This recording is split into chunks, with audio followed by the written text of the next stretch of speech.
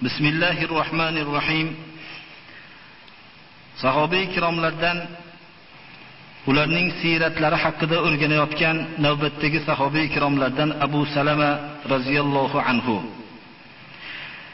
Abu Salama radhiyallohu anhu ulug' sahobalardan bo'lib payg'ambarimiz sollallohu alayhi vasallam bilan emishgan aka uka bo'ladilar. Va payg'ambarimiz sollallohu alayhi vasallamning Barra ismlik ammalarining o'g'lidir. Islomga sabqat qilgan birinchi kishilardan hisoblanadi. Bu kishi Habasistonga hijrat qilishlikda ham Madina Munavvaraga hijrat qilgan sahobalardan hisoblanadi.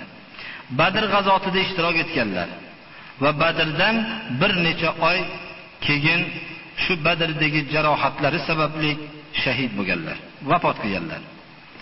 Ba'zi rivoyatlarda Habasistonga birinchi hijrat qilgan kishi Abu Salama bo'ladilar.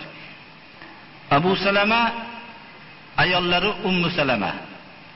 Ummu Salama radhiyallohu anha Abu Salama vafot qilganlardan keyin Abu Bakr radhiyallohu anhu bu kishiga iddalari chiqqandan keyin sovchi jo'natdilar.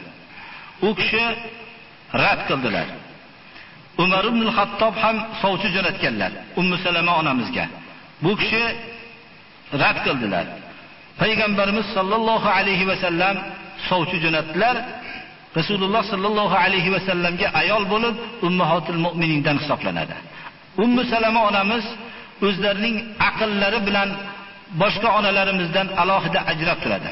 Hudaybiya sulhida payg'ambarimiz sollallohu alayhi va sallam ashoblar bilan birga kelishdilar. Kelishib Makkaga kirishmoqchi bo'lganda Makka mushriklari yo'llarini to'sishdi.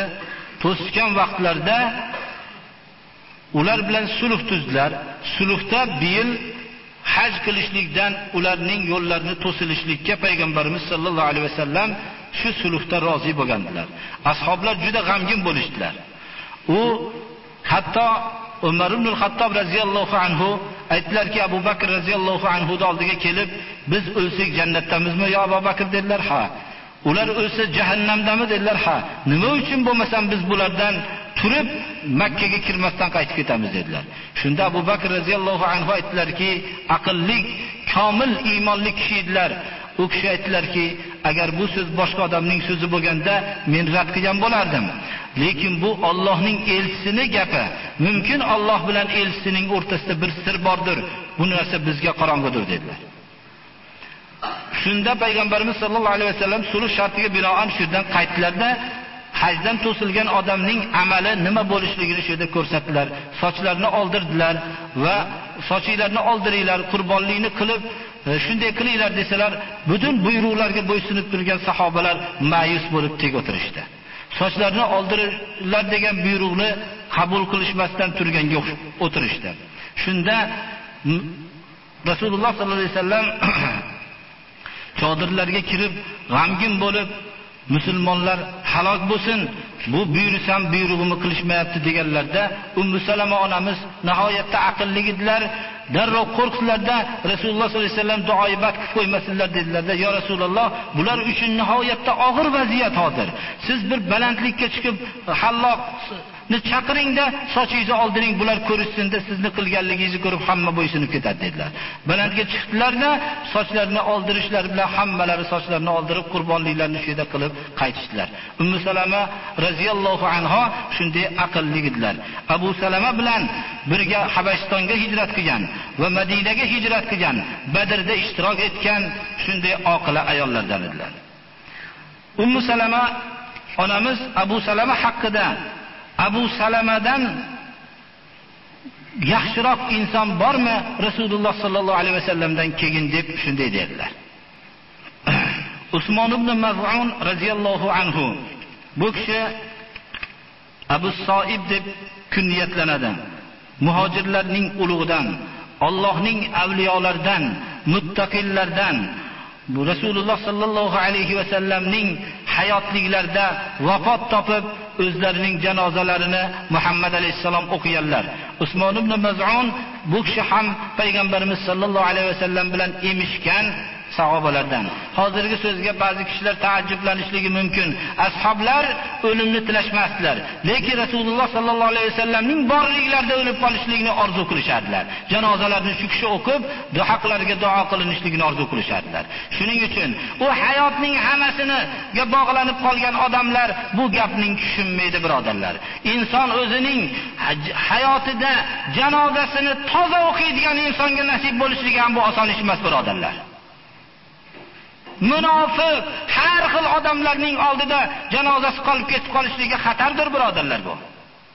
Usmon ibn maz'un roziyallohu anhu bu kishi payg'ambarimiz sollallohu alayhi vasallam bu kishini o'zlari dafn qildilar. Dafn qilib qabrlarini ustiga bir toshni olib kelishlikka buyurdilar bir kishiga. U kishi toshni olib kela olmadi. O'zlari shimaralanib shu toshni o'zlari ko'tarib olib kelib qabrning ustiga qo'ydilarda bu bilan birodarimni qabrini tanib olaman dedilar. Mana bu narsa hujjat bo'ladiki biror bir kishi o'zining yaqin odamining qabrini ustiga alomat bo'ladigan miqdorda bir narsani qo'yishlikka ruxsat.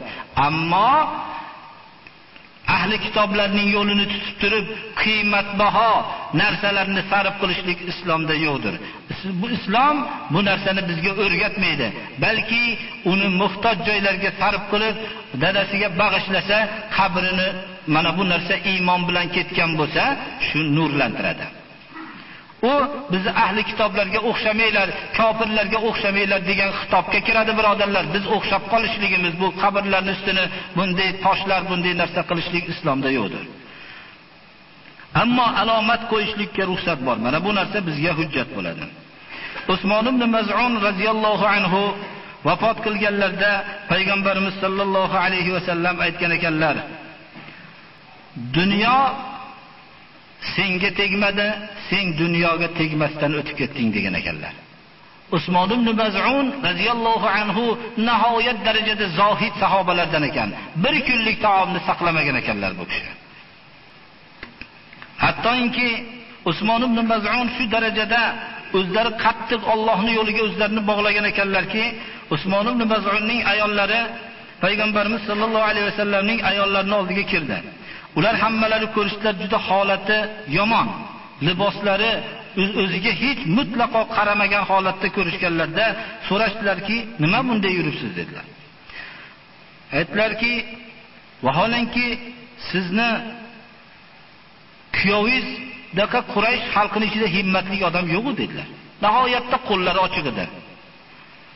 Aytdilarki, to'g'ri, kechqurunda doim bedor namoz o'qiydi. ammo kunduzida doim ro'zador bu so'z bilan ba'zi narsalarga ishora qildi. ya'ni usmon ibn mazunning ayollar bilan ishi yo'q dedi shunda payg'ambarimiz sollallohu alayhi va sallam usmon ibn mazun emishgan ukalari bo'ladi shu kishiga uchrab amolaka bi uswatun, menga ergashmaysanmi dedilar ya'ni bunday holatda ayolingni yurishligi yaxshi emas dedilar Shu darajada o'zlarini dunyodan ko'p o'zini chetga olgan kishi ekanlar. Sahobalar ichida Usmon ibn Maz'unni zohidlik bilan mashhur bo'lgan sahobalardan hisoblanadilar.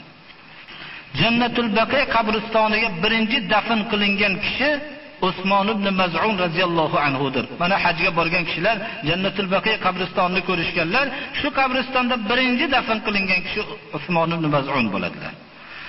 Qudomat ibn Maz'un Bu kishi ham Abu Amrinil Jumhi kunniyatlari. Hafsa onamizning tog'alaridan bo'ladi. Badrda ishtirok etgan islomni avvalda qabul qilgan kishilardan. Umar ibn al-Hattob davrida Bahrayn viloyatiga amir bo'lgan kishidir. Qudomat ibn Maz'un radhiyallohu anhu Habashistonga hijrat qilganlar. Qudomat ibn Maz'un radhiyallohu anhu Badr va Uhud janglarida ishtirok etgan ekanlar. Habashistonga ba'zi rivoyatlarda Habasistonga ikkinchi hijratda ham ishtirok etgan kishilardan hisoblanadi. Abdulloh ibn Maz'un bu kishi islomni avvalda qabul qilgan kishilardan, Badrda ishtirok etganlar, Habasistonga hijrat qilganlar, birinchi va ikkinchi hijratlarda ishtirok etganlar. Badr va Uhud hamda g'azotlarda bu kishi ishtirok etganlar. Rasululloh sallallohu alayhi va sallam bu kishi bilan Sahl ibn Ubayd ibn al-Mualla Ansoriyni o'rtalarini aka-uka qilib qo'yganlar va Usmon roziyallohu anhu ning davrlarida 30-yilda 61 yoshlarda vafot qilganlar.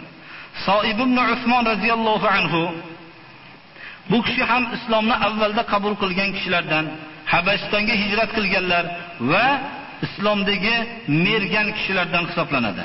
Rasululloh sallallohu alayhi va sallam bu kishi bilan Horisat ibn Suroqat al-Ansoriy o'rtalarini aka-uka qilib qo'yganlar. Horisat ibn Suroqat al-Ansoriyning o'ziga xos imtiyozlik sifati Badrda shahid bo'lganlarda va o'g'il yoshlik vaqtlarida shahid bo'lganlar shunda bular yig'lab kelganda agar farzandim jannatda bo'lsa yig'lamayman, jahannamda bo'lsa yig'layman deganlarda o'g'ling Firdavsul a'loga yetib bordi dedilar. Ya'ni o'g'ling Firdavsul a'loda dedilar. Shu Horisat ibn Suroqat al-Ansoriy shu zot bilan birga payg'ambarimiz sollallohu alayhi vasallam Soib ibn Usmonni o'rtalarida aka-uka qilib qo'yganlar. Bir odamning manoqibida birodari shunday odam degan odam ham bu nihoyatda uning haqqida yaxshi bir bo'ladi. Birodari buning shahid bo'lgan buni degan nom ham uning sha'niga ancha maqtov bo'ladi birodarlar. Abu Huzayfa roziyallohu anhu bu kishi ulug' sahobalardan shahid bu kishi bo'lganlar. Islomni avvalda qabul qilingan, qabul qilgan kishilardan Abu Huzayfa Badr g'azotida ishtirok etganlar. va misli ko'rilmagan amalni qilganlar. Va Abu Huzayfa radhiyallohu anhu ning dadasi mushriklar safida edi Badrda. Shunda yakkama yakka chiqishlikka shu mushrik bo'lgan dadasi bilan ro'baru bo'lishga tayyor bo'lgan kishilardan. Lekin shu vaqtda dadasi chetga ketganligi uchun bu baroz bo'lmagan. Abu Huzayfa radhiyallohu anhu bu kishining eng katta sifatlaridan bittasi bu kishi tarbiya qilgan, ozod qilgan Solim Mavlo Abu Huzayfa deyiladi. Ya'ni Abu Huzayfa ozod qilgan qul Solim hisoblanadi. Solim islom tarixida inshaalloh o'zini o'rnida hozirgi navbatdagi darsimiz ham shu kishiga bog'lanadi. Abu Huzayfa shudek Abu Huzayfa radhiyallohu anhu Solim de Solim Mavlo Abu Huzayfaga o'xshagan kishini ozod qilganligi ham bu kishiga islom tarixida katta bir sharaf bo'lib qoldi. Solim Mavlo Abu Huzayfa kim edilar? Islomni birinchi qabul qilgan qullardan, Badrda ishtirok etgan, Allohning rasulini guvohligi bilan nihoyatda amonatli kishilardan hisoblanadi. Rasululloh sallallohu alayhi va sallamning oilalarining oldiga biror bir bu kishi razo bilan bog'langan shu xonadonlarida amonatlik ishlarni Solim Mavlo Abu Huzayfa bajaradilar. Boshqa odamga Rasululloh sallallohu alayhi vasallam ruxsat bermasdilar.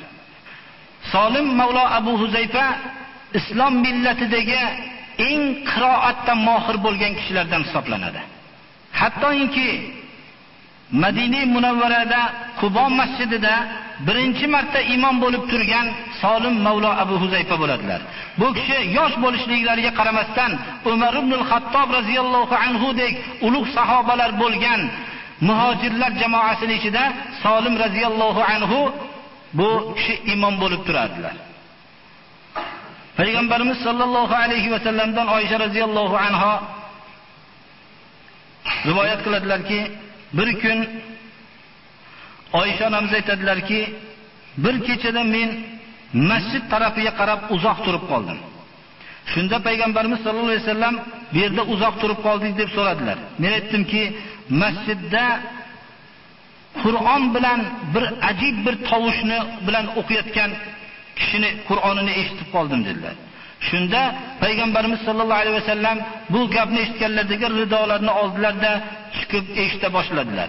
Va qarasalar, Solim Mavlo Abi Huzayfa o'qiyotgan ekanlar Qur'onda. Shunda aytgan ekanlar: "Alhamdulillahillazi ja'ala fi ummati mislaka." Meni ummatimda senga o'xshagan odamni qilgan Allohga hamd bo'lsin degan ekanlar. Solim radhiyallohu anhu ning ba'zi bir sifatlari Umar ibn al-Xattob radhiyallohu anhu ga dadalaridan qolgan merosni sotgan ekanlar. Shunda merosning miqdori 200 dirham bo'lgan ekan. Ya'ni ba'zi 200 ming dirham degan gap ham bor. Katta miqdorda merosni onalariga bergan ekanlar. Aytgan ekanlarki, kuliha, shu merosni siz meni merosim siz yeng deb hammasini bergan ekanlar. Solim roziyallohu anhu ni biz avvalda shahid ulug' sahobalardan dedik. Bu kishi bilan Abu Huzayfa ozod qilgan hojalari bir jangda bir o'rinda shahid bo'lishgan ekanlar. Shahid bo'lgan holatini rivoyat qilinishicha, bittalarining boshi u kishining oyoqlarida, u kishining boshlari bu kishining oyoqlarida qo'yilgan holatda shahid bo'lib yotishganligini ko'rgan ekanlar. Solim Mavlo Abu Huzayfani manoqiblardan bittasi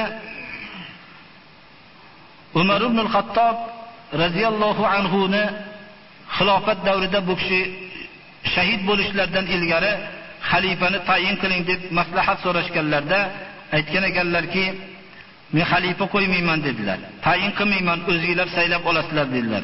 Shunda mana Abu Bakr radhiyallohu anhu sizni tayin qilganda, xo'p, yaxshi ish qilib, sizni omonatlik qilib qo'yib ketdiki, bu juda ham katta bir manfaat bo'ldi.